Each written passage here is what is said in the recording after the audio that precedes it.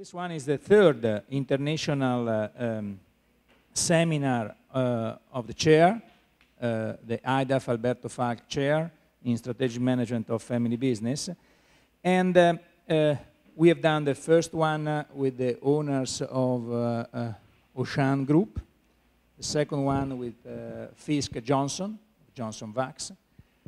And now we have decided to invite Mr. Sajan Aswani, or Sajan, sorry. Sajen, Sajen, eh, Sajan is okay. Aswani from Singapore. Uh, Sajan uh, has been the chairman of the last uh, international conference of Family Business Network in Singapore. And uh, I mean, it has been a great conference uh, with a lot of family business members, uh, focused on family business members.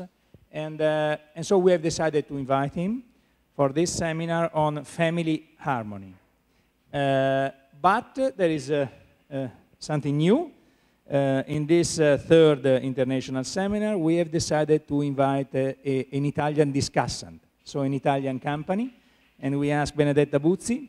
So thank you for being here. Thank you to Sanjan, obviously, and thank you to Benedetta. And Benedetta will share her experience on, of her family business, and she will discuss uh, uh, Sajan's ideas about uh, family harmony. Obviously, we are discussing uh, a very tough topic uh, that obviously could be different in uh, East and in West, and so I think that's important also to reflect on the cultural differences of this of family business um, worldwide.